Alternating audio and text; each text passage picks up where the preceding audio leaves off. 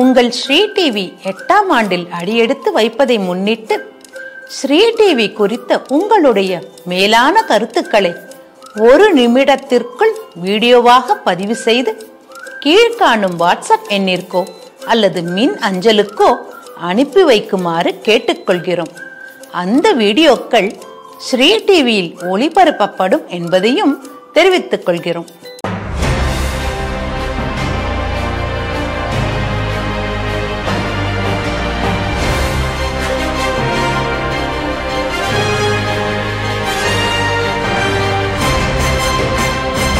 Sri TV நேயர்களுக்கு வணக்கம். இன்று செய்திகள் சிந்தனை நிகழ்ச்சிக்கு உங்களை அன்புடன் வரவேற்கிறோம்.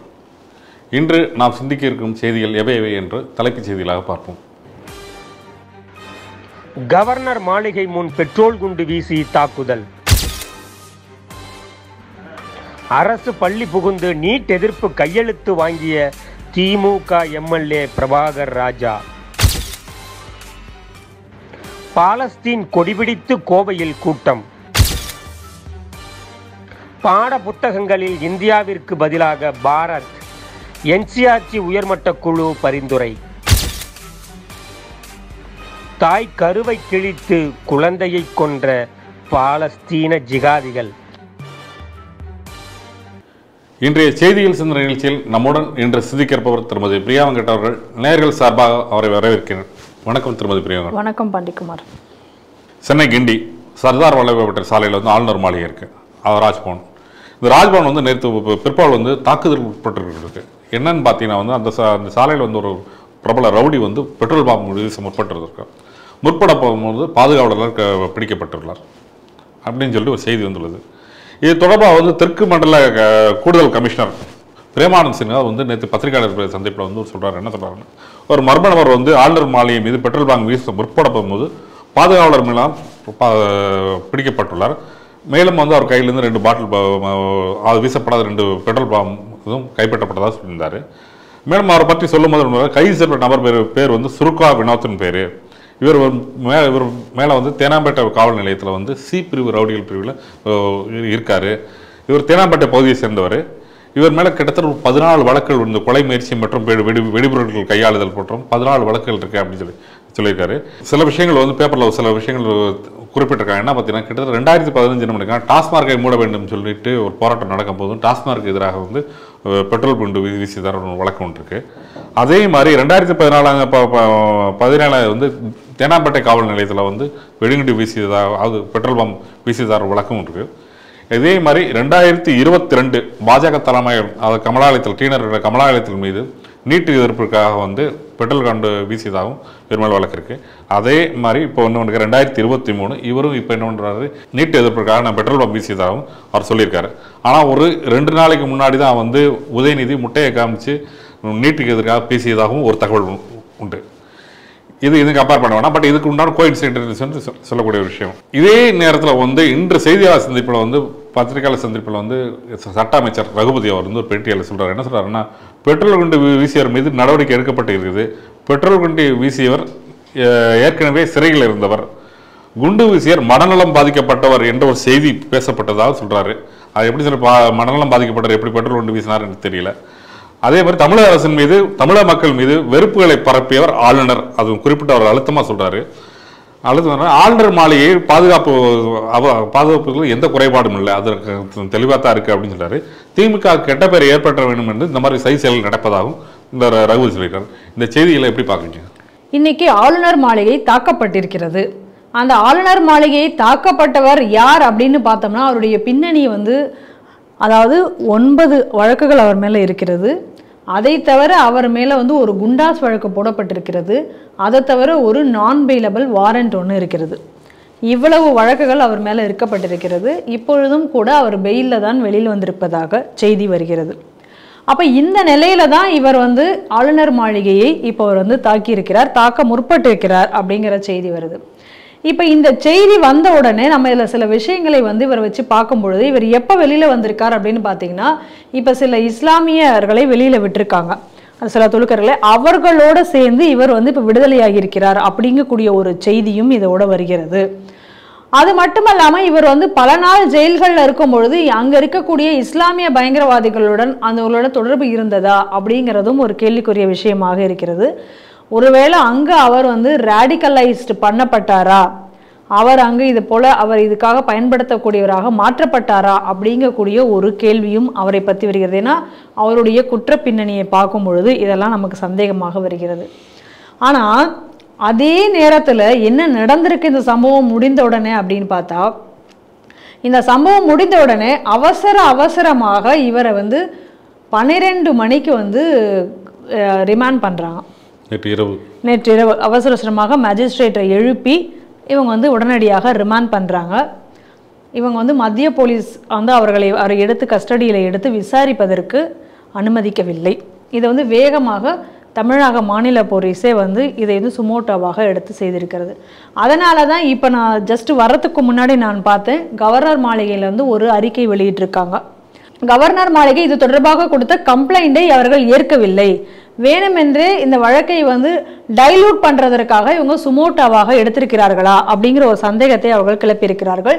அது மட்டும் இல்லாமல் அவர்கள் கேட்கக்கூடிய கேள்வி நியாயமானதன் இது ஏதோ ஒரு சாதாரண ஒரு அசால்ட்டு எல்லா ஏதோ ஒரு ரவுடித்தனம் பண்ணுறவன் சும்மா ஒரு இதை போட்டு போனா அப்படிங்கிற மாதிரியாக இந்த வழக்கை கொண்டு போக பார்க்கிறதா அப்படிங்கக்கூடிய ஒரு கேள்வியும் அவர்கள் எ- ஒரு சந்தேகத்தையும் அவர்கள் எழுப்பியிருக்கிறார்கள். ஏன்னா அதற்கு காரணமாக அவங்க சொல்லும்போது என்னென்னா அவசர அவசரமாக மேஜிஸ்ட்ரேட்டில் கொண்டு போய் பன்னெண்டு மணிக்கு அவர் எழுப்பி ரிமாண்ட் பண்ண வேண்டிய அவசியம் என்ன அப்படிங்கிறது அவங்களுடைய கேள்வி. நம்மளுக்கும் கூட இந்த இடத்துல ஒரு கேள்வி எழுகிறது. என்ன அப்படின்னா பாஜக தலைவர் அண்ணாமலையினுடைய வீட்டு வாசலில் ஒரு கொடிக்கம்பம். அந்த கொடிக்கம்பத்தை இவர்கள் அகற்றிவிட்டார்கள் அப்படிங்கிறதுக்காக போராடினார் அமர் பிரசாத் ரெட்டி. அவர் கைது செய்யப்பட்டார் அமர் பிரசாத் ரெட்டி.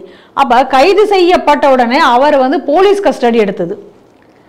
ஒரு கொடிக்கம்ப போராட்டம் வந்து அவ்வளோ பெரிய கருமினல்லா போலீஸ் கஸ்டடி எடுக்கிற வரைக்கும் அப்படிங்கக்கூடிய கேள்வி எழுகிறது இல்லவா ஆனால் அதே நேரத்தில் ஆளுநர் மாளிகையில் வந்து ஒரு பெட்ரோல் குண்டு வீசுவதற்கு ஒருத்தர் வந்திருக்கா ரெண்டாவது கையில் ரெண்டு மூணு நாலஞ்சு பாட்டில்கள் கூட கொண்டு வந்திருக்கிறதாகவும் போலீஸ் தரப்பிலேயே சொல்கிறார்கள்.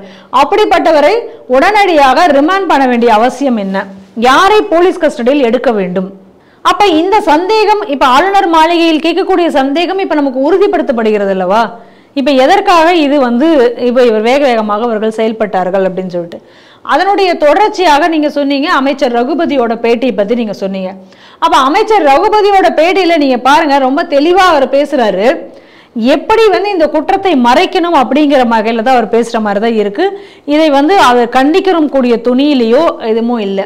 அவர் சொல்லும்போது என்ன சொல்றார் சட்டம் ஒழுங்கெல்லாம் ஒன்றும் பாதிப்பு இதெல்லாம் பிரச்சனை எல்லாம் இல்லை. ஏங்க மனநிலை பாதிக்கப்பட்டவர் அப்படின்னு அவரை பத்தி சொல்றாங்க. அப்படி மனநிலை பாதிக்கப்பட்டவர் ரோட்ல போய்கிட்டு இருக்கும்போது ஒரு குண்டு எடுத்து வீசினார் அப்படின்னு சொன்னா அவர் வந்து எப்படி வந்து கா இது இதுக்கு இதுக்கு எப்படி நாங்க பொறுப்பாக முடியும்? வேணுமென்றே திமுக ஆட்சிக்கு கெட்ட பெயர் உருவாக்குவதற்காக இப்படி எல்லாம் பண்றாங்க. இதெல்லாம் வந்து இவர் பேசுகிறார் ரகு அமைச்சர் ரகுபதி. அப்ப ரோட்ல அவர் என்ன அதுவும் என்ன சொல்றாங்க? இது இதில் இதுல வந்து என்ன சொல்றாரு? ஆளுநர் தான் வந்து வெறுப்புணர்ச்சி தூண்டும் வகையில ஊர் ஊரா போய் பேசிக்கிட்டு இருக்காரு. அப்படின்னா இப்போ இவர் என்ன இதன் மூலமாக அவர் சொல்ல வருகிறார்? ஆளுநர் வந்து இப்போ ஊர் ஊராக வெறுப்புணர்ச்சியாக அவர் பேசி வருகிறார். அப்படிங்கிறதுக்காக அவர் மேலே வந்து ஒரு எதிர்வினை தாக்குதலாக இது நடத்தப்பட்டது அப்படிங்கிறதை சொல்ல வருகிறாரா? அப்புறம் கடைசியாக சொல்கிறாரு அவங்க ஆளுநர் கேட் அந்த மாளிகையினுடைய கேட்டுக்கிட்ட கூட போகலீங்க. அப்படின்னு கடைசியாக வந்து கோபமாக அவர் வந்து அந்த பேட்டியை முடிக்கிறதை நம்மளால் பார்க்க முடிகிறது. அப்போ இந்த குற்றவாளியை மனநிலை பாதிக்கப்பட்டவர். அப்போ மனநிலை பாதிக்கப்பட்டவருக்கு எப்படி கரெக்டாக ஒரு ஒரு தடவையும் பெட்ரோல் குண்டு கிடைக்கும்? அவர் ஒரு ஒரு தடவையும் ஜெயிலுக்கு போவாராம் ஜெயிலுக்கு போனோன்னே அவர் வெளியில் வருவாராம் ஜெயிலேருந்து வெளியில் வந்தோடனே ஏதோ ஒரு க்ரைமில் இன்னொரு க்ரைமில் ஈடுபடுவாராம் அப்பயும் இதே போல் பெட்ரோல் கொண்டு தான் வீசுவாராம் அப்போ அவர் கரெக்டாக பெட்ரோல் கொண்டு வீசும் பொழுது பாஜக அலுவலகம் எங்கே இருக்குன்னு ஒரு மனநிலை சரியில்லாதவருக்கு தெரியுமா? இல்லை பெட்ரோல் குண்டு எப்படி தயாரிக்கிறது மனநிலை சரியில்லாதவருக்கு எப்படி தெரியா தெரியும்? அப்படிங்கிறது நமக்கு புரியல. அது எப்படி கரெக்டாக இப்போ கவர்னர் மாளிகையில் வந்து இவர் வீசினார். அப்போ இந்த அதுக்கப்புறம் என்ன சொல்கிறார் இதில் வந்து ஒன்றும் பெரிய விபத்தெல்லாம் ஒன்றும் நடக்கலை. யாருக்கும் எந்த காயமும் இல்லை. இதெல்லாம் இவர் சொல்கிறார் இப்போ. உடனடியாக நாங்கள் வந்து குற்றவாளியை நாங்கள் பிடித்தாக விட்டது இப்போ இந்த குற்றத்திற்கு இதெல்லாம் இவங்க வந்து பேசும்பொழுது உடனடியாக இவர்களை வந்து ரிமாண்ட் பண்ணாமல் ரிமாண்ட் பண்ணியிருக்கிறது கஸ்டடி எடுக்காமல் இருக்கிறது இது எல்லாத்தையும் வச்சு நமக்கு பார்க்கும் பொழுது இது ஏதோ வந்து ஒரு ஆளும் கட்சியினுடைய மறைமுக ஆசீர்வாதத்தில் தான் இது நடந்ததோ அப்படிங்கக்கூடிய ஒரு சந்தேகம் நமக்கு இந்த இடத்துல வருகிறது. இதே சந்தேக சந்தேகத்தை தான் அண்ணாமலை அவர்களும் வைத்திருக்கிறார்கள் இன்னைக்கு. அவருடைய அறிக்கையிலும் இன்னைக்கு அவர் இதை தான் கூறியிருக்கிறதை நம்மளால் பார்க்க முடியுது. அதே போல காவல்துறை அதிகாரிகள் அவர்களுடைய தரப்பில் வரக்கூடிய வீடியோக்களையும் நான் பார்த்தேன். அப்போ அவர் பேசும்பொழுது கூட அவர் என்ன சொல்கிறார் அவரும் இதே விஷயத்தை சொல்லுகிறது தான் ரொம்ப மனதுக்கு வருத்தமான ஒரு விஷயமாக இருக்கிறது. என்ன சொல்கிறார் அப்படின்னு சொன்னால் இது ஆளுநர் மாளிகையில் வந்து இந்த போய் வெடிகுண்டு வந்து இவனு வெடிக்கல. இது வந்து வெடிக்கிறதுக்கு முன்னாடியே நாங்கள் வந்து எடுத்துட்டோம். இது கேட் இந்த பேரிகேடுக்கெல்லாம் முன்னாடியே இது வந்து விழுந்துருச்சு அப்படின்னு அவர் சொல்கிறார் அப்போ இது இப்படி இதை திருப்பி திருப்பி இவங்க சொல்கிறது உன்னுடைய இது அர்த்தம் என்ன அப்படின்னா ஒருவேளை அந்த ஆளுநர் மாளிகை மேலே வீசி அது உள்ளே போய் வெடிச்சாதான் அது வந்து கிரைம் அப்படின்னு சொல்லுவாங்களா? அப்போ தான் அவருக்கு வந்து தண்டனை தருவாங்களா? அப்போ தான் விசாரிப்பாங்களா? அப்படின்னு நம்ம எடுத்துக்கொள்ளலாமா அப்படிங்கிற கேள்வி வருது. அப்போ இதே லாஜிக்கை நாளைக்கு ஸ்டாலின் வீட்டுக்கு பக்கத்தில் ஒரு நாலு தெரு நாலு வீட்டுக்கு தாண்டி அந்த பக்கம் ஒருத்தன் இந்த மாதிரி பெட்ரோல் கொண்டு வீசிட்டு போனா அப்படின்னு சொன்னால் அவர் அங்கதான் இப்போ வீசினார். ஸ்டாலின் வீட்டுக்கு வீசல. அவருக்கு அதுக்கு ஒன்றும் பாதுகாப்பு ஒன்றும் இல்லை. அப்படின்னு இப்போ சொல்லுவாங்களா? இதே லாஜிக் அங்கே அப்ளை பண்ண முடியுமா? அப்படிங்கிற கேள்வி நமக்கு எழுகிறது. அப்போ ஒரு காவல்துறை அதிகாரியே வந்து இப்படி அவர் இப்படி பேசுவது என்பது அவருடைய அவர் வகிக்கக்கூடிய அந்த பொறுப்புக்கு ஒரு பொறுப்பான பேச்சாக நமக்கு வந்து அது வந்து தெரியவில்லை.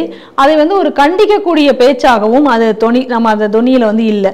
ஏன்னா அவர் ஏதோ இது ஒரு சாதாரண ஒரு விஷயமாக அவர் இதை சொல்லி போவது போல தான் தெரிகிறது. அப்போ மொத்தமாக இந்த ஈவெண்ட் எல்லாம் வச்சு பார்க்கும் பொழுது நம்மளுடைய சந்தேகமானது அதிக அளவில் இன்னும் வலுப்பெறுகிறது.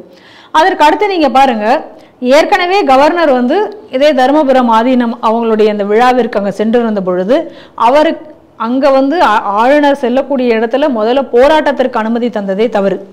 அப்போ அந்த போராட்டத்திற்கு அனுமதி கொடுத்ததோடு மட்டுமல்லாமல் அந்த இடத்துல கவர்னரோட கார் அங்கே தாக்குறதுக்கு முற்பட்டார்கள். அதையும் நம்ம அந்த சம்பவத்தையும் நம்ம ஏற்கனவே பார்த்தோம்.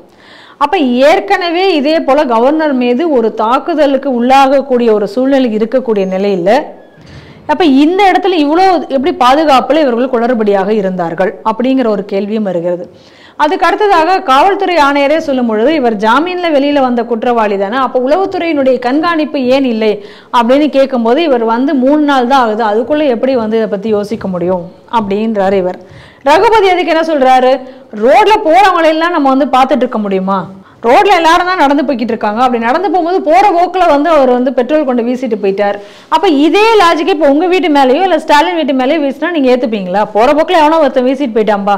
அதுக்கும் அரசுக்கும் பொறுப்பு இல்லை அப்படின்னு சொல்ல முடியுமா? இந்த மாதிரியான கேள்விகள் எல்லாம் நம்ம அந்த இடத்துல எழுகிறது. அதற்கு பிறகு கவர்னர் தான் வெறுப்புணர்வை தூண்டுகிறார் அப்படின்னு இவங்க சொல்றாங்க. ஆனா ஆனா இங்க என்ன நடந்துருக்கு தமிழகத்துல? கவர்னரை என்னெல்லாம் இவங்க வந்து திட்டியிருக்காங்க இவங்களுடைய அமைச்சர்கள் அப்படின்னு நம்ம பார்க்குறோம். ஏற்கனவே என்ன சொன்னாங்க? டிஆர் பாலு. இவங்கெல்லாம் போன்றவர்கள்லாம் என்ன சொன்னாங்க? இந்த மாதிரி எல்லாம் பேசிட்டு தமிழகத்தினுடைய வீதிகளில் வந்து கவர்னர் நடமாட முடியுமா? அப்படிங்கக்கூடிய கேள்வியெல்லாம் இவங்க கேட்டாங்க. அதே போல் உதயநிதி அவர்கள் எல்லாம் கூட இதே போல் வந்து கவர்னரையே மிரட்டக்கூடிய துணியில் இவங்க எல்லாரும் பேசினதை நம்ம பார்க்குறோம். அப்போ அந்த மாதிரி எல்லாம் பேசும் பொழுது இந்த இப்போ ஒரு தாக்கு ஒரு தாக்குதல் இல்லை இப்போ இந்த ரெண்டு தாக்குதல் இப்போ ந- இந்த மாதிரியான நய- முயற்சி நடக்கும் பொழுது நமக்கு இன்னும் அதனுடைய சந்தேகம் வைக்கிறது. அப்போ எல்லாரும் இன்னைக்கு பேசுவது போல் இது வந்து ஒரு இன்னும் சொல்லப்போனால் இங்கே இ- வந்து இப்போ பாஜகவிற்கு எதிரான அடக்குமுறைகள் இன்றைக்கி அதிக அளவில் இங்கே அதிகரித்து வருகிறது எதற்கெடுத்தாலும் இங்கே கைது செய்யக்கூடிய போக்கு பார்க்கிறோம். அண்ணாமலை வந்து அண்ணாமலை வந்து பேசும்பொழுது இப்போ ஆர்எஸ் பாரதி என்ன சொன்னார்? அண்ணா ஈவேரா அப்படிங்கக்கூடிய பேசக்கூடிய தைரியமெல்லாம் இந்த அண்ணாமலைக்கு எப்படி வந்தது? இதெல்லாம் முன்றைய காலத்தில் நடந்திருக்குமா? இப்படித்தான் நடந்து கொண்டிருக்கிறதா? காஞ்சிபுரத்தில் வந்து நம்ம உடனடியாக காஞ்சிபுரத்தில் இருப்பவர்களாவது ஒரு கொடும்பாவியவாது எரித்திருக்க வேண்டாமா? இப்படியெல்லாம் பேசினதை நம்ம பார்க்குறோம். அப்போ வன்முறையை தூண்டும் விதமாக ஒருபுறம் இவர்களுடைய அமைச்சர்கள் எல்லாம் பேசி கொண்டு வருகிறது. இன்னொரு பக்கம் பாஜகவின் மீது இவர்கள் தொடர் அடக்குமுறை ஏவி வருகிறது. இது தாக்குதல் அப்படிங்கிறது ரெண்டாவது முறையாக ஆளுநர் மீது குறிவைத்து தாக்கப்படுகிறாரா? என்ற சந்தேகங்கள் எல்லாம் இனி வந்து அதிக அளவில் இன்னைக்கு வந்து ஆளுங்கட்சியின் பக்கம்தான் நம்மளுடைய சந்தேகம். வலுப்பெற்று வருகிறது. இதையே தான் இன்னைக்கு எடப்பாடி பா பழனிசாமி அவர்களும் வைத்திருக்கிறார். இதே சந்தேகத்தை தான் இன்னைக்கு அண்ணாமலை அவர்களும் வைத்திருக்கிறார் என்பதை நம்ம பார்க்கிறோம். அதுக்கு அடுத்ததாக திமுக அப்படின்னு சொல்லி பார்த்தோம்னாலே திமுக எப்பெல்லாம் ஆட்சிக்கு வருகிறதோ அப்பெல்லாம் இந்த மாதிரியான ரவுடி கூட்டங்களை வைத்துக்கொண்டு அவர்களை எதிர்ப்பவர்கள் மீது இந்த வன்முறையை ஏவி விடுவது என்பது வழக்கமாக வைத்திருக்கிறார்கள். ஒவ்வொரு ஆட்சியிலையும் பார்த்தாலும் நமக்கு தெரியும்.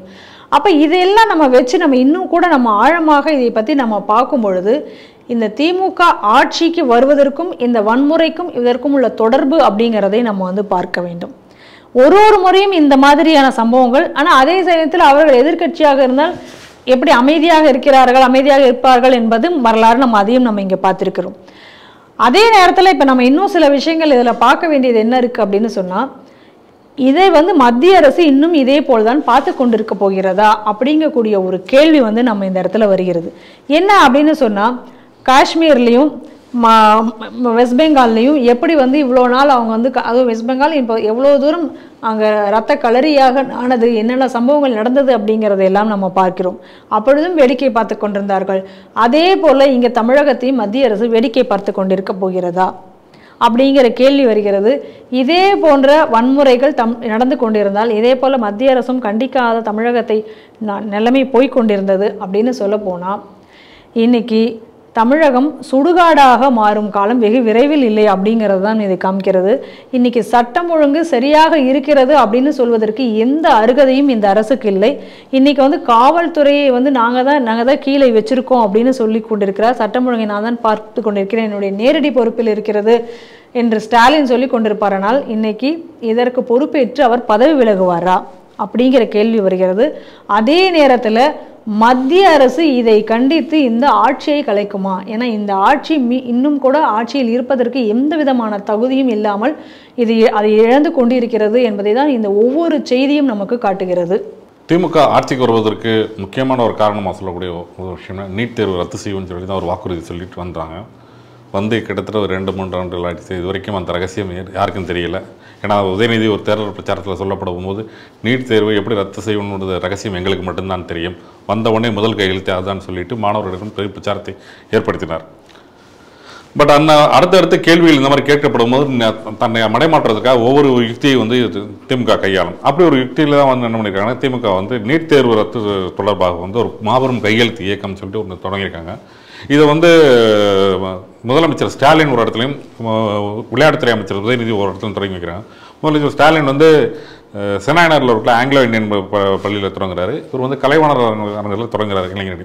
இந்த நிகழ்ச்சி வந்து இளைஞரணி திமுக இளைஞரணி தான் ஏற்பாடு பண்ணுது. இது மூலமாக வந்து கிட்டத்தட்ட ஒரு வந்து ஐம்பது நாட்களில் ஐம்பது லட்சம் கையெழுத்துகள் வாங்கி என்ன பண்ணியிருக்காங்க சேலம் மாநாட்டில் வந்து அது வந்து முதலமைச்சர் கையில் வந்து கொடுக்குறாங்க. சேலம் மாநாடுனா அது திமுக இளைஞரணி மாநாட்டில் வந்து முதலமைச்சர் ஸ்டாலினிடம் கொடுத்துட்டு அதை வந்து குடியரசுத் தலைவர் கொடுத்து நாங்கள் வந்து ரத்து செய்கிறதுக்கு முற்பட போகிறோம் அப்படின்னு சொல்லிட்டு ஒரு இது பண்ண போகிறாங்க அப்படி ஒரு நிகழ்ச்சி ஏற்பாடு நடந்திருக்கு நடந்திருக்கு. இதை திமுக என்ன பண்ணியிருக்காங்கன்னா அந்த விருகம்பாக்கம் அந்த ப- பகுதியோட சட்டமன்ற உறுப்பினர் இருக்கவர் பிரபாகர் ராஜா. யாருன்னு பார்த்தீங்கன்னா வந்து விக்ரமர் ராஜா அவர் தமிழ்நாடு வணிகர் பேரவையோட மகன். அவர் வந்து திமுக இருக்கக்கூடிய ஒரு சட்டமன்ற உறுப்பினர் இருக்கார். அவர் பையன் இருக்கக்கூடிய அந்த அந்த பகுதியில் என்ன இருக்கா அவர் பள்ளிக்கூடத்தில் போய் ஹெட்மாஸ்டரை கூட்டிகிட்டு போய் ஒரு ஸ்கூலில் ஸ்கூலுக்குள்ளே ஹெட்மாஸ்டர் கூட்டிட்டு போய் அங்கே இருக்க மாணவர்களுக்கெல்லாம் போய் போய் திமுக சார்பாக கையெழுத்து இயக்கம் நடத்த போகிறோம் அதுக்கு வந்து டிஜிட்டலைஸ் கையெழுத்து வாங்க போகிறோம் அப்படின்னு சொல்லிட்டு ஒவ்வொரு மாணவர்களுக்கும் இது பண்ணியிருக்காங்க. அது தொடர்பாக வீடியோ இணையதளத்தில் வந்து பெரிய வைரலாக இருக்குது பல வகையிலும் கண்டனங்கள் தெரிவிக்கப்பட்ட ஒரு ஒரு தலைமை ஆசிரியரை இப்படி ஒரு செயல் செய்யலாமா. திமுகவோட பிரதிநிதி மாதிரி தலைமை ஆசிரியர் பேசக்கூடிய வீடியோ இருக்கு. அதே நேரத்தில் ஒரு கட்சிக்காரங்க வந்து எப்படி வந்து ஒரு அரசு பள்ளியில் போய் அவங்க வந்து இந்த மாதிரி செயல்பாடுகள் செய்யலாம் அப்படின்னு சொல்லி மக்கள்கிட்ட பெரும் கண்டனம் ஏற்படுத்தியிருக்கு. இந்த ரெண்டு செய்தி எப்படி பார்க்குறீங்க? அதாவது அரசு இயந்திரங்களை ஆக்கிரமித்து அதாவது அரசு இயந்திரங்களை தவறாக பயன்படுத்துவதனுடைய ஒரு கிளாசிக் எக்ஸாம்பிள்னா இந்த நிகழ்ச்சியை நீங்கள் பார்க்கலாம். அவர் அரசு இயந்திரங்களை மொத்தமாக கையகப்படுத்தி தங்களுடைய இஷ்டத்திற்கு என்ன வேண்டுமானாலும் செய்வது அப்படிங்கிறதுக்கு மிகச்சிறந்த உதாரணமாக இந்த நிகழ்வை நீங்கள் பார்க்கலாம். ஒரு அரசு பள்ளியில் பள்ளிக்கூடம் நடக்கக்கூடிய ஒரு நேரத்தில் நீங்கள் அந்த பள்ளிக்குள்ளார வந்து கட்சிக்காரங்க உள்ளே புகுந்து உங்களோட கட்சி அஜெண்டாவை நீங்கள் அன்னைக்கு அந்த குழந்தைங்கள் மத்தியில் திணிக்க முற்பட்டிருக்கிறீர்கள். அது மட்டும் இல்லாமல் அதற்கு உடந்தையாக இருந்தது யாருன்னு பார்த்தா அந்த ஸ்கூலில் இருக்கக்கூடிய ஹெட்மாஸ்டர். அந்த ஹெட்மாஸ்டர் என்ன பேசுகிறார் அப்படிங்கிறத பார்த்தது பிறகு தான் எனக்கு ரொம்ப ஆச்சரியமாக இருந்தது.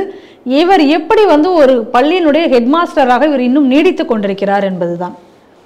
என்ன பேசுகிறார் அந்த குழந்தைங்க மத்தியில் அப்படின்னா நீட் பரீட்சை அப்படிங்கிறது நம்ம யாராலையும் பாஸ் பண்ண முடியாத ஒரு பரீட்சை. அதனால் அந்த நீட் பரீட்சை உங்களுக்கு யாருக்கும் தேவையில்லை அப்படின்னு சொல்லிட்டு மாணவர்கள் மத்தியில் பேசுகிறார் ஒரு காம்படிஷன் இல்லை ஒரு இந்த மாதிரியான ஒரு காம்படேட்டிவ் எக்ஸாமினேஷன் அப்படின்னா அதற்கு தயார்படுத்த வேண்டியது தான் ஒரு ஆசிரியராக இருக்கக்கூடியவர்களுடைய கடமை. ஒருவேளை அந்த மாணவன் அதற்கு நம்மளால் தயாராக முடியாது என்று நினைத்தானால் அவனை ஊக்கப்படுத்தி அதை எப்படி அவனை தயார்படுத்துவதோ அதை செய்ய வேண்டிய ஒரு கடமை ஆசிரியருக்கு இருக்கிறது. அப்படிப்பட்ட ஒரு போஸ்டில் இருக்கக்கூடிய ஒரு தலைமை ஆசிரியர் என்ன சொல்லியிருக்காரு? உங்களாலெல்லாம் ஒன்றும் பண்ண முடியாது. நீங்க எல்லாம் வேஸ்ட்டு அப்போ அதுக்கு இதுக்காக நீங்கள் கையெழுத்து போடுங்க அப்படின்னு சொல்லிட்டு உதயநிதியினுடைய ஒரு பிரதிநிதி போல அவர் வந்து இன்னைக்கு அங்கே செயல்பட்டு பேசியிருக்கிறார். இதை எப்படி வந்து பள்ளி கல்வித்துறை அனுமதிக்கிறது அப்படிங்கிறதா நம்முடைய முதல் கேள்வி. எப்படி இதற்கான சட்டம் எங்கிருந்து இதுக்கு அனுமதி கொடுக்கும்? இது முதல் கேள்வி. எதுக்கோ சுமோட்டோவாக எடுக்கக்கூடியது இதை நீதிமன்றம் சுமோட்டோவாக எடுக்குமா? அதுக்கடுத்து நீங்கள் இங்கே பார்த்தோம் அப்படின்னு சொன்னால் இந்த ஆசிரியர்கள் தேர்வு அதாவது டெட்டு. டெட்டில் நம்ம எவ்வளோ சதவீதம் இந்த தடவை ஒரு சதவீதம் ஆசிரியர்கள் தான் இந்த தடவை பயிற்சி இதில் பெற்றார்கள் தேர்ச்சி பெற்றார்கள் அப்படிங்கிறத நம்ம பார்க்குறோம். அப்போ இந்த மாதிரியான தலைமை ஆசிரியர்கள்லாம் இருந்தாச்சுன்னா தமிழ்நாட்டில் எந்த டெட்டு எது வச்சாலும் இப்படி தான் இருப்பாங்க. ஏன் இப்படி இவர் பேசுகிறாருன்னா இதுதான் அப்போ காரணம். இந்த மாதிரியான ஆசிரியர்கள் தான் இன்றைக்கி அங்கே இருக்கிறார்கள் அப்படிங்கிறது நம்மளால் இன்றைக்கி புரிஞ்சுக்க முடியுது.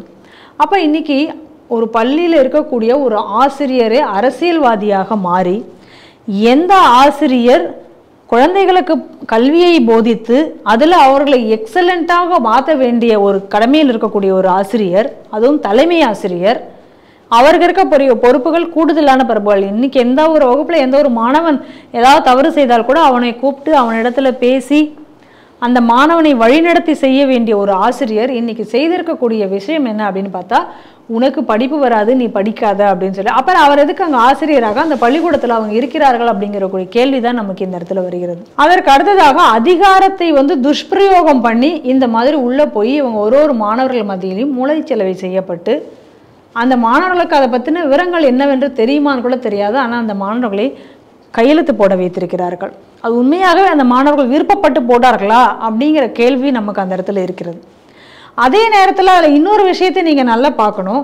ஒருவேளை சொல்லலாம் டிஎம்கே அவர் வந்து விக்ரம் ராஜாவோட பையன் பிரபாகர் ராஜா இப்போ எம்எல்ஏவாக இருக்கார் இதனால் நிறைய பிரச்சனைகள் வரலாம் அவர்னு தலைமை ஆசிரியர் வந்து உடன்பட்டு விட்டார். அவர் வந்து ப்ரெஷரைஸ் பண்ணாங்க அப்படின்னு சொல்லலாம். உண்மையிலேயே ஒரு நேர்மையான தலைமை ஆசிரியராக இருந்தால் அவர் என்ன செய்திருக்க வேண்டும்? நான் என் மாணவர்களுடைய எதிர்காலத்தை நான் அடகு வைக்க மாட்டேன். என்னால் இது ஒத்துக்க முடியாது. நான் கம்ப்ளைண்ட் கொடுக்குறேன் அப்படின்னு சொல்லி ஒரு கம்ப்ளைண்ட் கொடுத்துருக்கணும். பள்ளிக்கல்வி தொலைகிட்டு அவர் வந்து இந்த மாதிரி புகார் கொடுத்து இந்த மாதிரி பண்ண சொல்கிறாங்க எனக்கு இது பண்ணுவதில் விருப்பம் இல்லை அப்படின்னு அவர் சொல்லியிருக்கலாமே. அப்போ இது வந்து ஏதோ வந்து ஒரு ப்ரெஷர்னால செய்தது அப்படின்னு சொல்லி அந்த தலைமை ஆசிரியர் இதிலிருந்து நழுவுவதற்கான வாய்ப்பில்லை அப்படின்ற என்னுடைய கருத்து அது. ஏன்னா இது வந்து ப்ரெஷரைஸ் பண்ணிட்டாங்க அப்படின்னு சொன்னால் உடனடியாக கம்ப்ளைண்ட் கொடுக்கலாமே அவருக்கு அதுக்கான வாய்ப்பு இருக்கிறது. அதையே அவர் செய்யலை. உண்மையிலே ஒரு நேர்மையான ஆசிரியராக இருந்தாலும் அதை தான் அவர்கள் செய்திருப்பார்கள். இப்போ எது எதுக்கோ இந்த ஜாக்டோ ஜியோ வந்து போராட்டம் நடத்தினார்கள். அப்போ கூட என்ன சொன்னாங்க? ஜாக்டோ ஜியோ போராட்டத்தில் கூட நாங்கள் எங்களுக்கான சலுகைகளை எல்லாம் நீங்கள் செய்து தருவீர்கள் என்ற காரணத்தினால தானே உங்களை நாங்கள் ஜெயிக்க வச்சோம் அப்படின்னு சொல்லி பேசினாங்க. எந்த அளவுக்கு திமுக ஆசிரியர்களை இன்னைக்கு அவர்களோட ஒரு கட்சி தொண்டர்கள் மேலே மாற்றி இருக்கிறார்கள் என்பதை நம்ம இந்த இடத்துல பார்க்கணும். இப்போ கூட பாருங்க ஜாக்டோ ஜியோ வந்து பல போராட்டங்களை வந்து எடுத்தது அரசுக்கு எதிராக. பெரிய லெவலில் ஒன்றும் தமிழக அரசு இதுக்காக செய்யலை.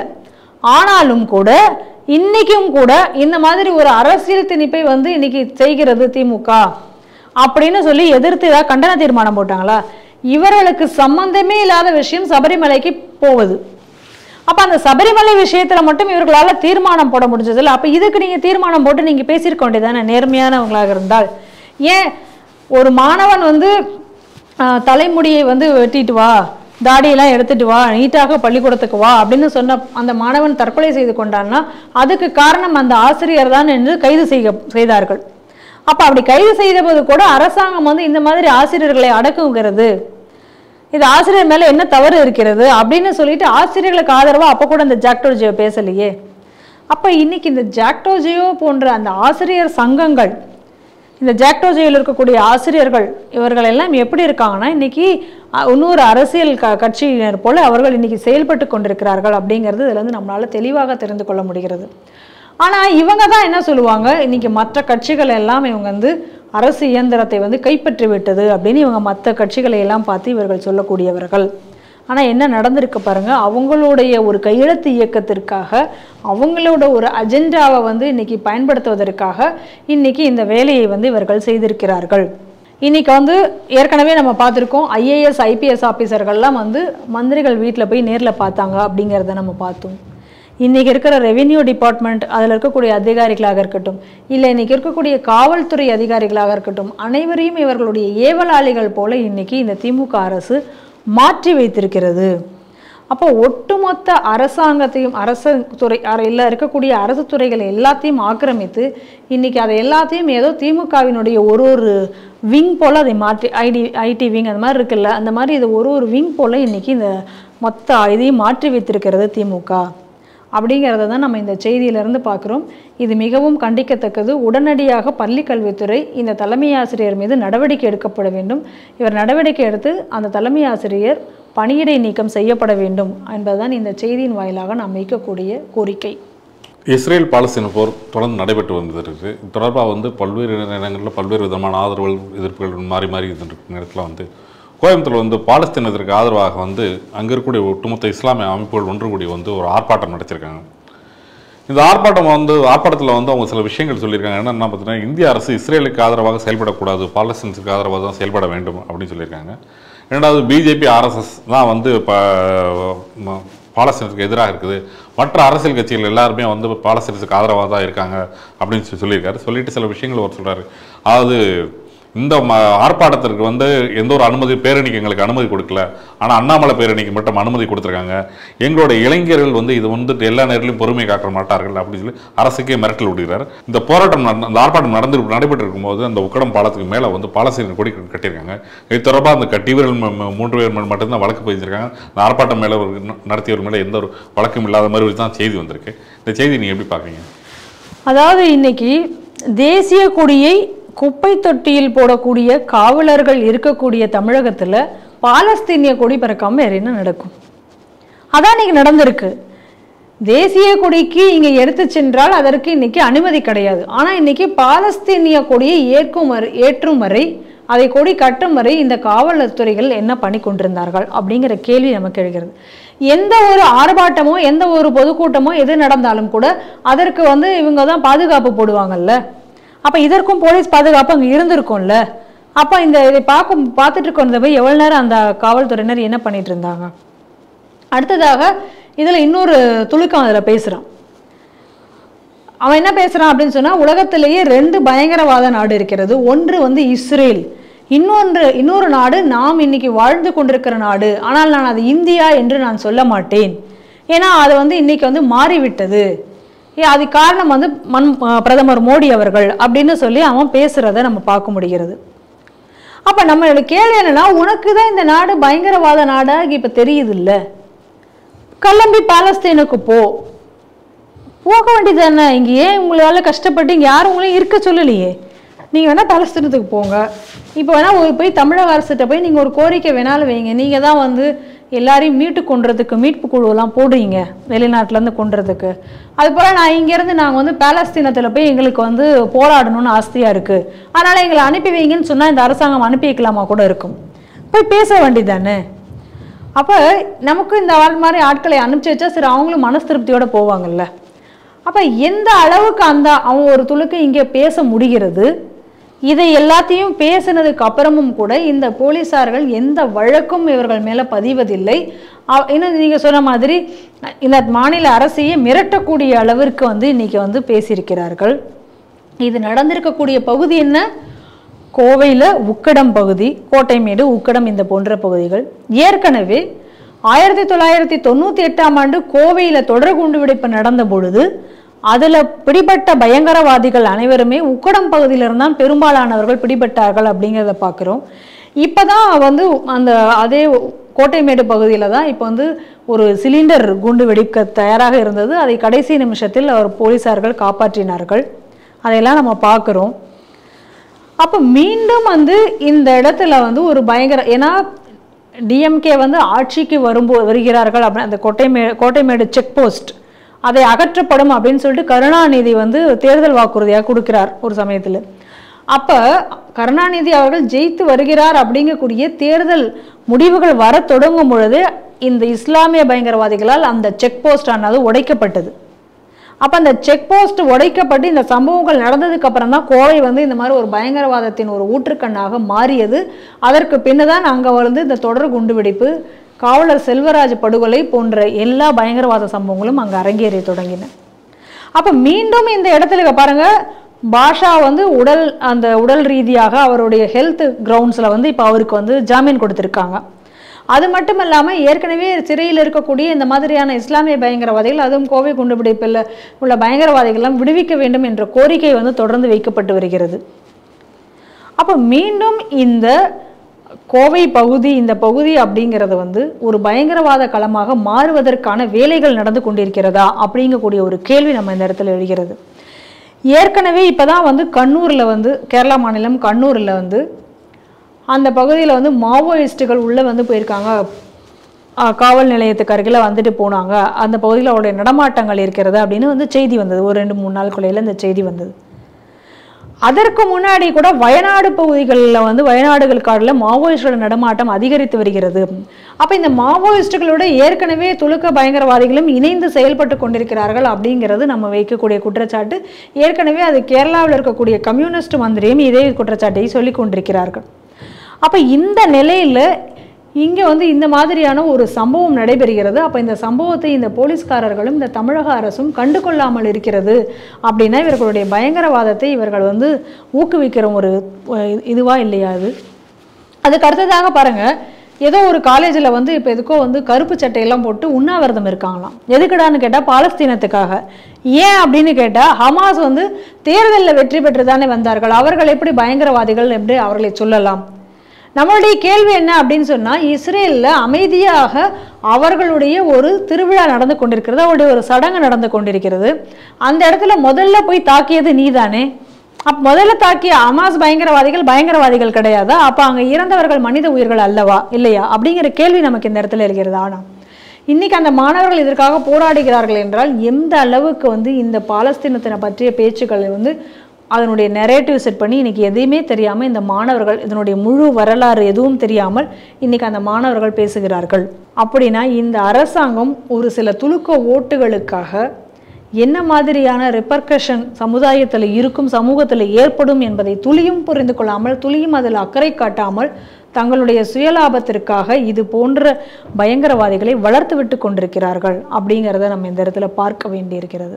அதே நேரத்தில் தமிழகத்தில் ஒரு தேசிய கொடியை எடுத்துக்கொண்டு ஒரு யாத்திரை செல்வதற்கு இங்கே தடை விதிப்பார்கள். கேட்டால் அந்த வழியில் போகிற வழியில் இன்றைக்கி துலுக்க இருக்கான் இல்லைன்னா கிறிஸ்தவர்கள் இருக்கிறார்கள் அதனால் அந்த வழியாக யாத்திரை போகக்கூடாது அப்படின்னு சொல்லிட்டு.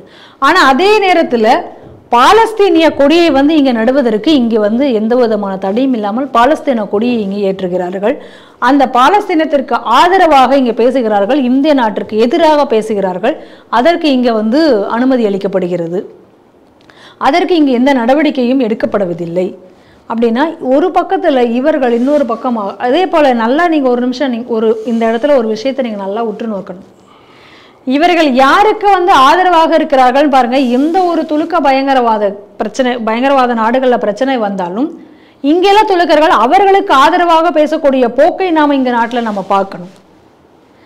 இப்போ இந்த் இவன் சொல்கிறான் என்ன சொல்கிறான் இந்தியாவை ஒரு பயங்கரவாத நாடுன்னு இந்த துலுக்கம் சொல்கிறான் ஆனால் அதே நேரத்தில் இவன் யாருக்காக வந்து இவன் வந்து இன்னைக்கு பேசிகிட்டு இருக்கான்? பாலஸ்தீனத்திற்காக பேசி கொண்டிருக்கிறான் இன்னைக்கு ஹமாஸ் பயங்கரவாதிகள் தான் இன்னைக்கு வந்து இஸ்ரேல் மீது முதலில் தாக்குதல் நடத்தியார்கள். அதை பத்தி அவன் பேசல. அதுக்கு அடுத்ததாக பாருங்க சதாம் ஹுசேன் ஈராக் பிரச்சனை வந்தது. அப்ப ஈராக்குக்கு ஆதரவாக இங்க எல்லாரும் பேசிட்டு இருந்தாங்க. அப்பயும் அது பயங்கரவாது. அந்த பயங்கரவாதத்துக்கு ஆதரவாக இங்க பேசிட்டு இருந்தாங்க. எந்த பயங்கரவாத நாடுகள் அப்புறம் தலிபான் வெற்றி பெற்ற உடனே இங்க இருக்கக்கூடிய எல்லாரும் தலிபானுக்கு ஆதரவாக இங்க இருக்கக்கூடிய துளுக்கெல்லாம் பேசினதை பார்த்தோம். அப்ப இங்க இருக்கக்கூடிய இந்த நாட்டில் இருக்கக்கூடியதுக்கு இந்திய நாடை வந்து இவர்கள் நாடாக ஏற்பதில்லை. ஆனால் அதே நேரத்தில் எந்த நாடுகள் எல்லாம் இந்த துலுக்க பயங்கரவாதம் இருக்கிறதோ அதை அந்த துலுக்கனை தான் இவர்கள் ஆதரிக்கிற போக்கு கூட நாம் பார்க்குறோம். இதற்கு காரணம் என்ன? நம்ம திரும்ப திரும்ப சொல்லி கொண்டிருக்கக்கூடிய இஸ்லாமிய மதத்தினுடைய அடிப்படை கருத்துக்களாக இருக்கக்கூடிய உம்மா ஜிஹாத் காஃபிர் இந்த மூன்றும் தான். உம்மா ஒரே இஸ்லாமிய உலகம். இஸ்லாமியர்கள் மட்டும்தான் இருக்க வேண்டும் அப்படிங்கக்கூடிய இவங்களுடைய அடிப்படை கோட்பாடு தான் இவை அனைத்துக்கும் காரணமாக இன்னைக்கு இருக்கின்றன. இந்த இஸ்லாத்தில் உம்மா என்கக்கூடிய இந்த கோட்பாடு இருக்கும் வரை உலகத்தில் என்றென்றும் இந்த நிம்மதி அப்படிங்கிறது இருக்காது. இந்த இஸ்லாமியத்தினால பயங்கரவாதம் எங்கும் நிகழ்ந்து கொண்டு தான் இருக்கும்.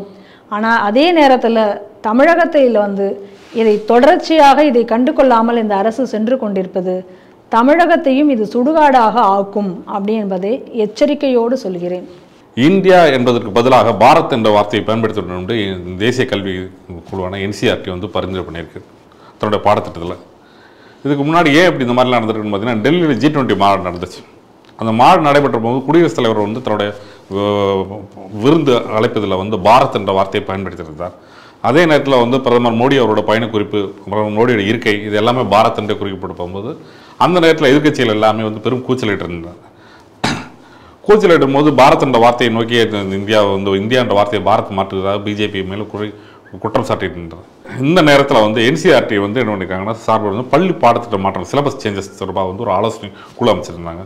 இந்த குழு என்ன பண்ணியிருக்காங்கன்னா என்ன பரிந்துரை பண்ணியிருக்காங்கன்னா வந்து இந்தியான்ற சொல்ல வந்து நீங்கள் வந்து பாரத் என்று மாற்றணும் அப்படின்னு சொல்லிட்டு அந்த குழு பரிந்துரை பண்ணியிருக்கு ஏன் அந்த பரிந்துரை பண்ணியிருக்குன்னு சொன்னால் அந்த குழுவின் தலைவர் ஐசக் சொல்ல போகும்போது இந்த வா- பாரத் என்ற வார்த்தை கிட்டத்தட்ட ஒரு எழுநூறு ஏழாயிரம் வருஷங்கள் பழமையான வார்த்தை. இது தொடர்பாக வந்து பல வரலாற்று ஆய்வுகள் குறிப்புகள் எல்லாமே இந்த இதில் இருக்கு. அப்படின்ற ஒரு ஒரு பழமையான வார்த்தையை வந்து நம்ம பயன்படுத்தல எந்த தவறும் இல்லை. ஏற்கனவே அரசியல் சாசனம் பிரகாரம் ஏற்கனவே வந்து இந்தியா அல்லது பாரத் என்றது இருக்கு. அப்படின்ற போது அந்த சட்ட ரீதியாகவும் எந்த சிக்கல் இல்லை. அப்புறம் இனிமே வந்து பாரதத்தில் வந்து இந்தியா என்ற வார்த்தைக்கு பிறகு பாரத் என்ற வார்த்தையை பயன்படுத்தப்படும் அப்படின்னு சொல்லியிருக்காரு. இந்த செய்தியை எப்படி பார்க்குறீங்க? மிகவும் வரவேற்கப்பட வேண்டிய ஒரு செய்தி. இன்னைக்கு என்சிஆர்டி குழு உயர்மட்ட குழுவினுடைய இந்த அறிக்கை அப்படிங்கிறது மிகவும் வரவேற்கப்பட வேண்டிய ஒரு விஷயம். ஆயிரத்தி தொள்ளாயிரத்தி நாற்பத்தி ஏழில் இந்தியா விடுதலை அடைந்த உடனே இதை வந்து செய்திருக்க வேண்டிய ஒரு வேலை.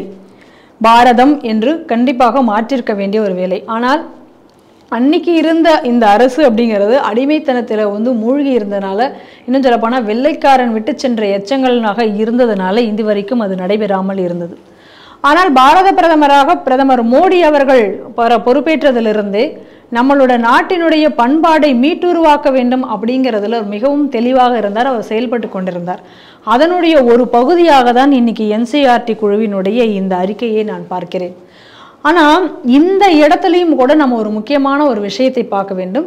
இன்னைக்கு என்சிஆர்டி ஒரு குழு பரிந்துரைத்திருக்கிறது. எதேச்சாதிகாரத்தோட இன்னைக்கு இந்த அரசாங்கம் இந்தியா என்கிற பேரை பாரதம் என்று புஸ்தகங்களில் மாற்றப்படும் அப்படின்னு சொல்லலை. ஆனால் இங்கே ஒரு அரசு இருக்குது தமிழகத்தில். அந்த அரசுக்கு வந்து இந்த பாடநூல் கழகத்து பிரிவினுடைய தலைவராக ஒருத்தரை போட்டாங்க. அவர் யாருன்னா ஆபாச பட்டிமன்ற பேச்சாளர் லியோனியை போட்டாங்க. எவ்வளோ எப்பேற்பட்ட ஒரு அறிவாளி அதை போட்டாங்க அவரை. போட்ட உடனே அவர் வந்து என்ன சொன்னார்?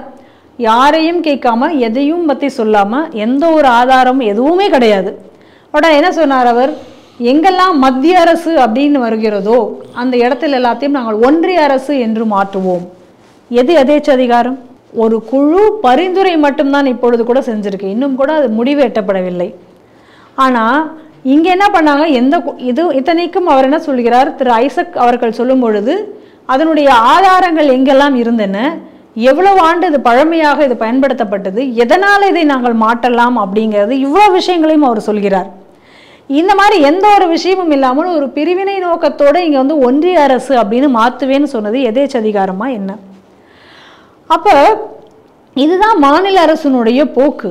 ஆனால் மத்திய அரசு இந்த பண்பாடுகள் உண்மையான வரலாறுகள் இவை அனைத்தையும் நம்ம வந்து மீட்டுருவாக்கணும். இன்னும் சொல்ல போனால் அதில் முக்கியமாக ஒரு விஷயம் சொல்லியிருக்காங்க.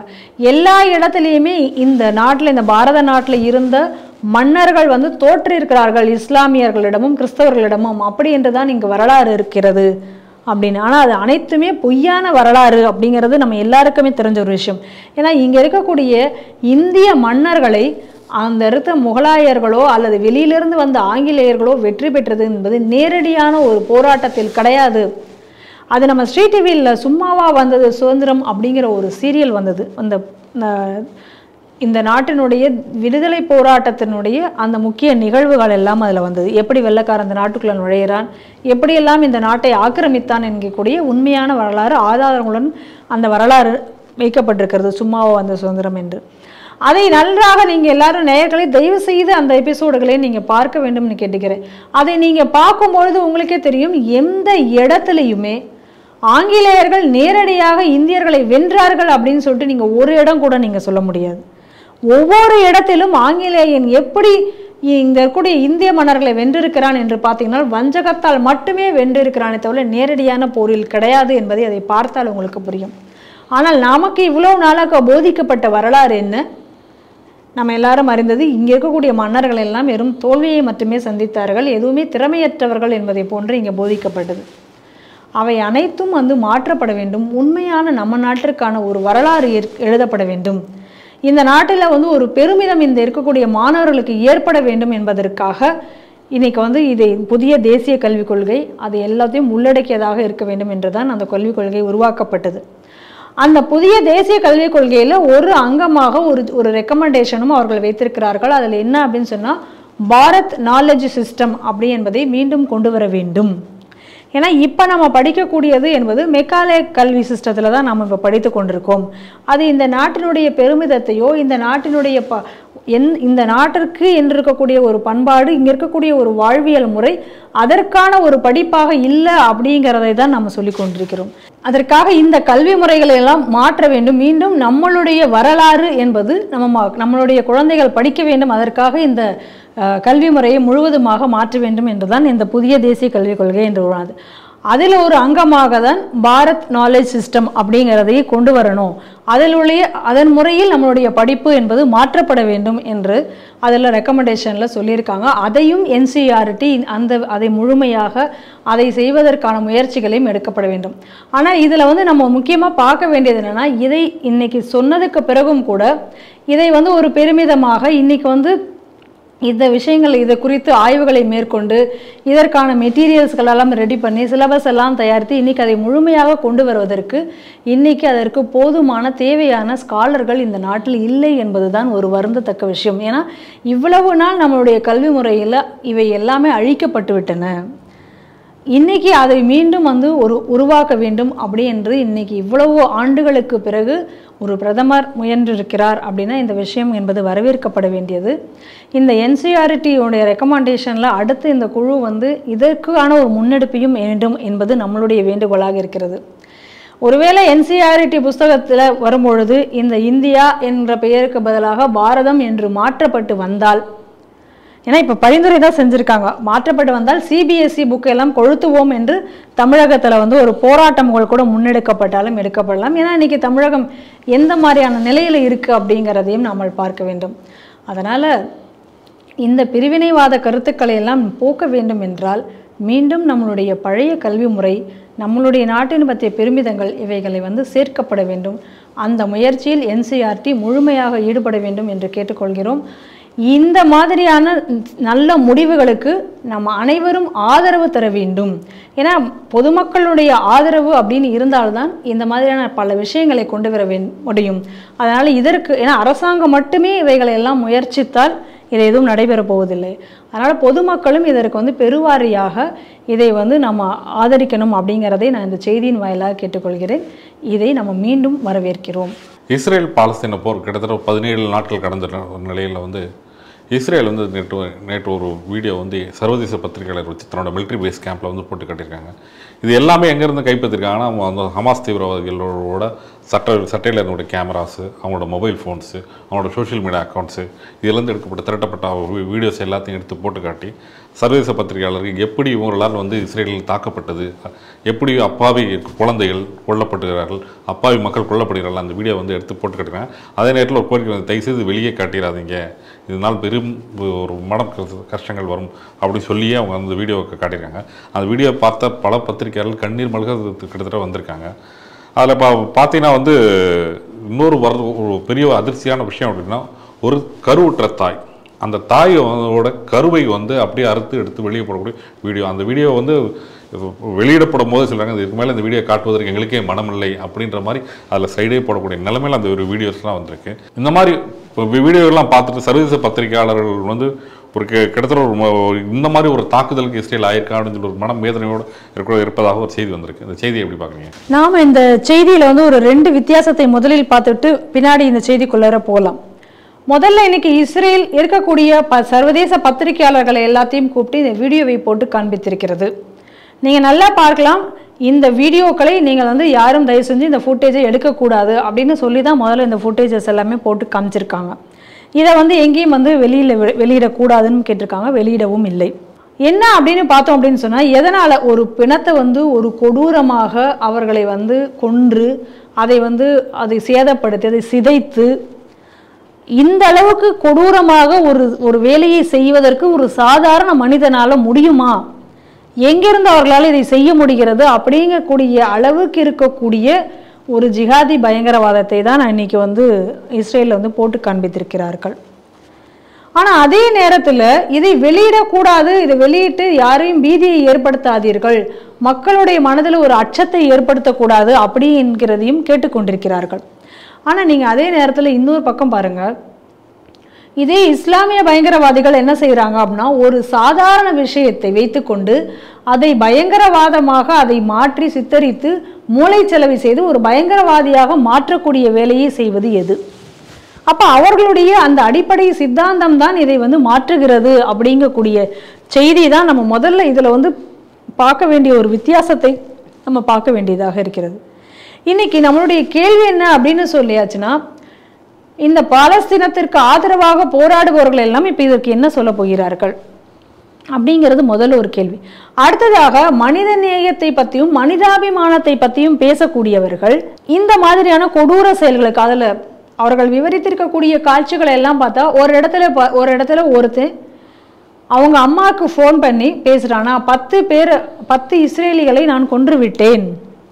இப்போ ஒரு இஸ்ரேலிய பெண்மணியை கொன்றுவிட்டு அவளுடைய ஃபோனில் இருந்து தான் உங்கள்கிட்ட பேசுறேன் அப்படின்னு சொல்லிட்டு அவருடைய அம்மாவிற்கு ஃபோன் பண்ணி அவன் பேசுறான்.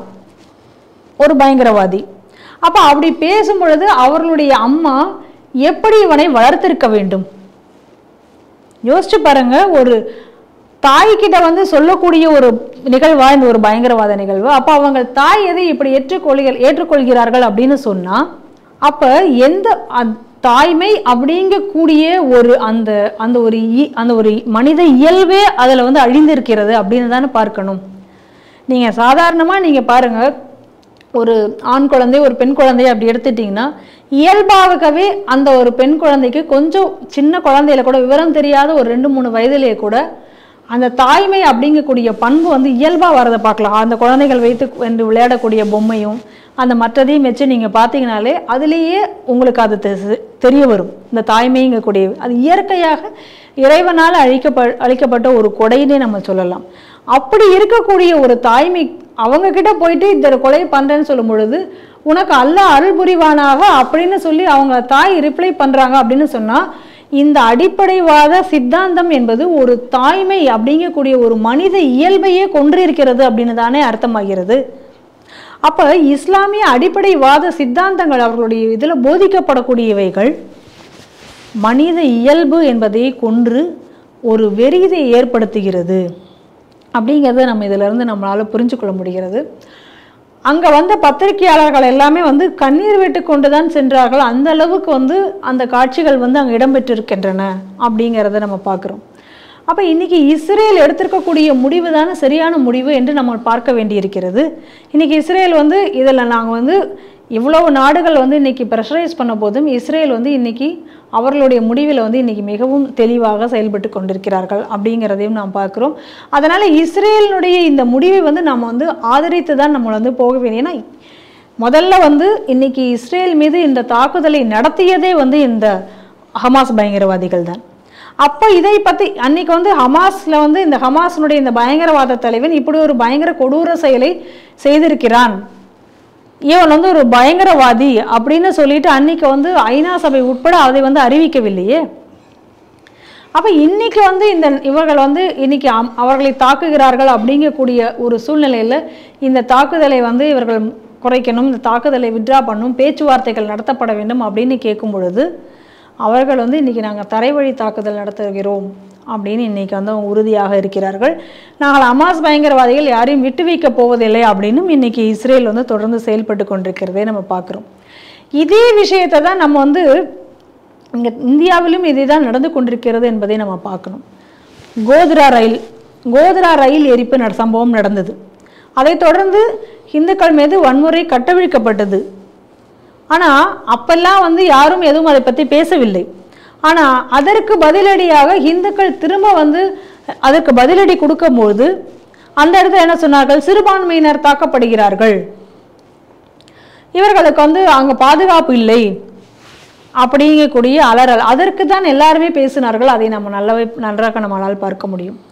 அப்போ இந்த இந்த துலுக்க பயங்கரவாதம் அப்படிங்கிறது எப்பயுமே வந்து இந்த விக்டிம் ரோலையே ப்ளே பண்ணுறதையே அவர்கள் வந்து ஒரு இயல்பாக வைத்திருக்கிறதையும் நம்மளால் பார்க்க முடிகிறது. அப்போ அதே போல் இதர்களுக்கு ஆதரவாக தரக்கூடியவர்கள் பாருங்க இந்தியாவிலேருந்து இப்போ அவங்களுக்கு தான் ஆதரவு தந்துட்டுருக்கான் நம்ம அதை பார்க்க முடிகிறது. அப்போ எவ்வளோ ஒரு கொடூரமான ஒரு செயல்கள் நடந்துட்டுருக்கு அப்படின்னா இப்போ இந்த இடத்துல வந்து யாரா இந்த இடத்து இந்த மனிதாபிமானம் இப்போ பல நாடுகள் வந்து என்ன பண்ணாங்க? லிபரல் அப்படிங்கிற பேரில் ஒரு மனிதாபிமான அடிப்படையில் இந்த இந்த மாதிரியான அகதிகளை எல்லாத்தையும் யாரையும் நாங்கள் எதுவும் கேட்காம உள்ளே விடுறோம் அப்படின்னு சொல்லிட்டு ஃப்ரான்ஸ் ஆகட்டும் இன்றைக்கி லண்டன் இன்னைக்கு அமெரிக்கா எல்லாத்தையும் பார்க்குறோம் இன்னைக்கு.